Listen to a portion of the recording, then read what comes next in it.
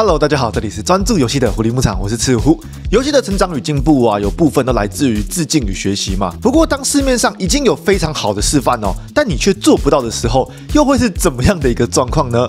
本周值得期待的新闻有：乔可波 GP 大赛车刚推出就有各种问题哦；魔物猎人崛起破晓公开了特别节目的日期；史科尔艾尼克斯要推出即时战术游戏哦。一起来看看本周的电玩乱报。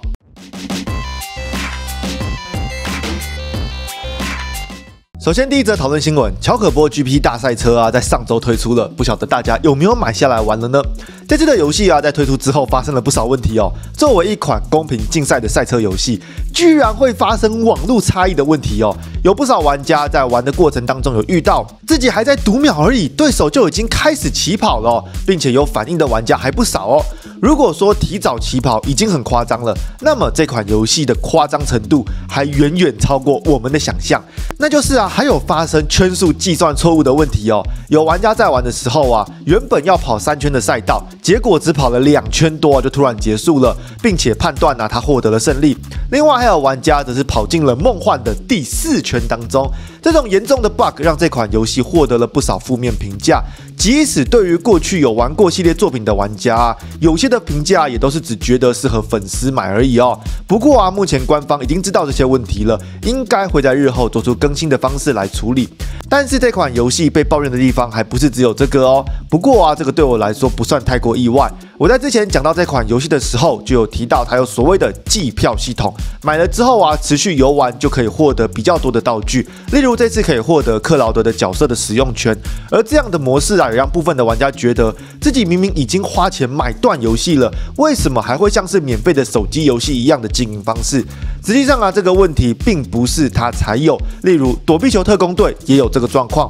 但在这个价位的游戏啊，确实不常看到哦。另外不少角色啊，都需要花大量的时间从关卡与点数来获得。这类的模式啊，也对游玩时间不长的玩家来说不算太过友善。单机只能两人游玩呐，也让这款游戏受到一些抱怨。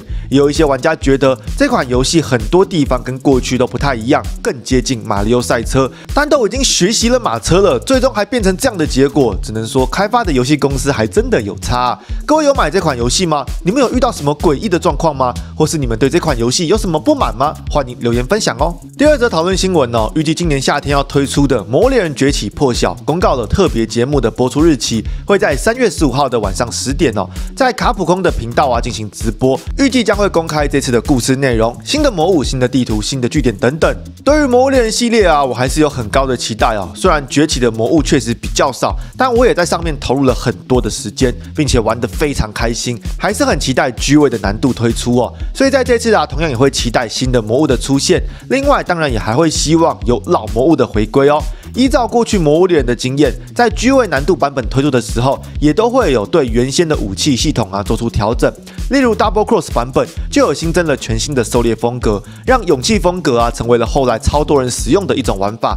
在冰原的时候啊，则是有新的武器动作派生。而这次的破晓啊，也同样会期待有包含新的降虫技能、新的武器动作等等，让游戏的体验上啊可以有更多不一样的变化。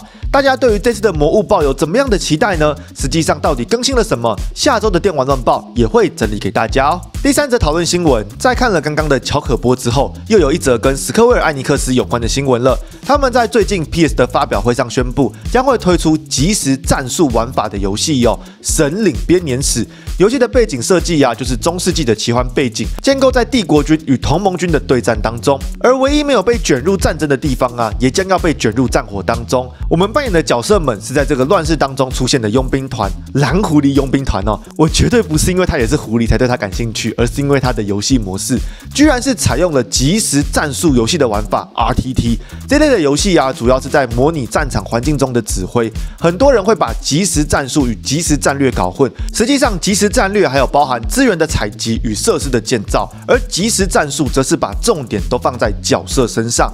这种类型的游戏啊，大作还真的不太多，我自己也几乎都没有实际接触过。所以对于这次的游戏推出，确实有着一定的好奇。角色的画风上呢，是由 FF 十二的美术来制作，让这款游戏充满着一种后神话时代的感觉。我确实很好奇这类游戏在玩法上的体验，以及普遍玩家对于这种类型的游戏的接受程度。等游戏推出之后啊，会想要买下来玩看看。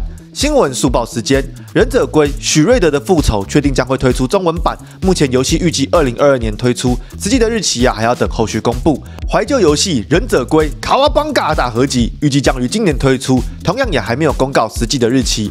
风之少年克罗诺亚 E N 二乘风归来公开了特点版本的内容，包含游戏美术书原声带，还有游戏中的服装，有兴趣的玩家可以参考看看。《泰格利之传五 DX》公开了正式的宣传影片，影片中的内容啊，跟之前发过的新闻稿差不多，包含画质的调整啊、追加武将啊、新要素啊、编辑功能等等哦。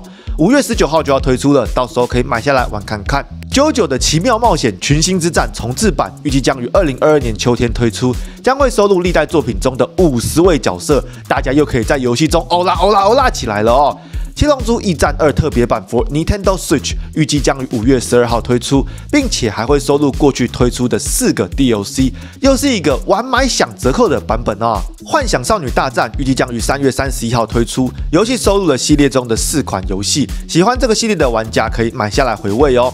以上就是本周新闻的部分，接下来跟大家分享发米通公布二月二十八号到三月六号日本地区的游戏销售排行。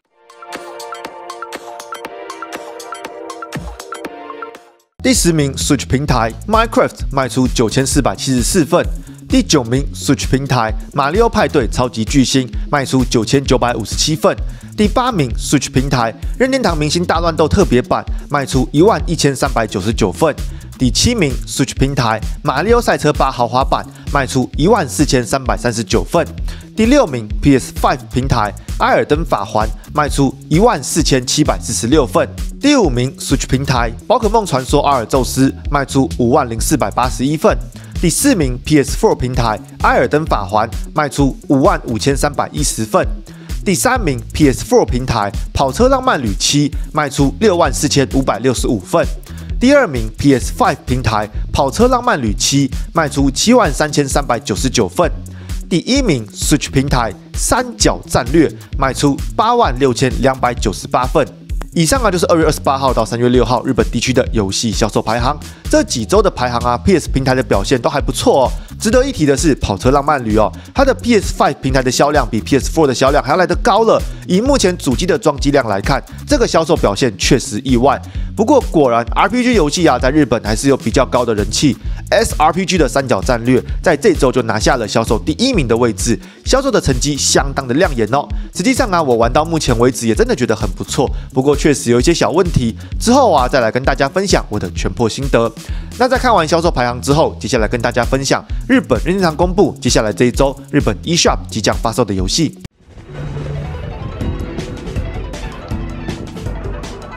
三月十四号，《魅影破坏者》格斗类资源中文。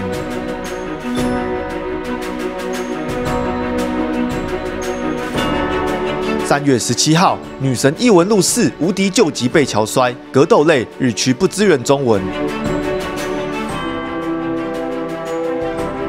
弹药珠火力全开，横向射击类不支援中文。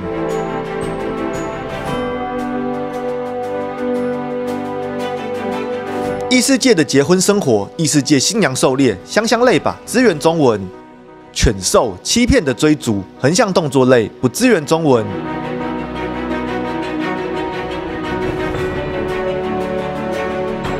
尼可梦 RPG 类支援中文，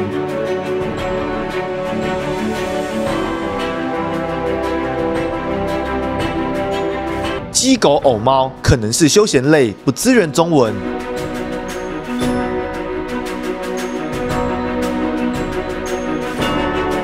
The Wake 解谜类支援中文。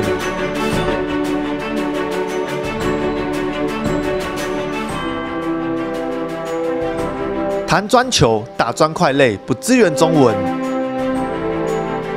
绝对君主小叶大人关于去打工面试后变成小叶大人的仆人那件事，冒险类资源中文。黑暗之神战旗类资源中文。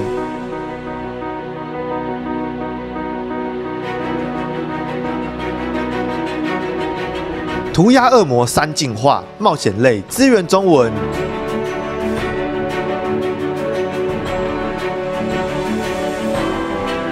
拳击馆风云经营类资源中文，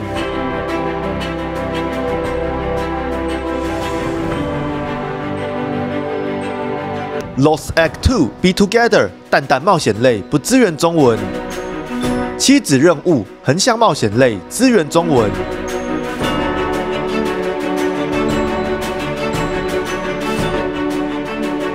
少女射击 Double Piece 香香类支援中文。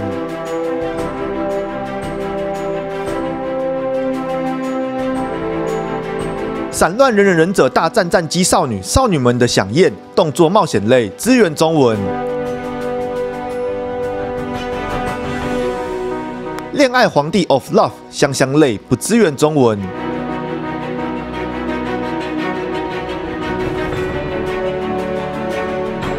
三月十八号，迷你海战桌上游戏类不支援中文。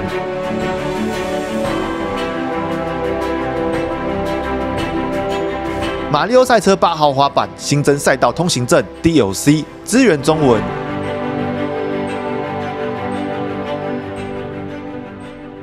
以上啊就是接下来这一周即将要发售的游戏，有一些游戏玩法看起来真的还蛮特别的哦。我自己会买的啊是女神异闻录四无敌救急被桥摔，其余的目前就没有考虑了。目前三角战略啊还没有破完，破完之后预计下周会发新的影片哦，有兴趣的玩家可以来看看哦。那这次的电玩乱爆啊就到这里结束了。如果你喜欢这个系列，希望可以帮我按个喜欢，我会祝福你玩游戏都不会卡死关。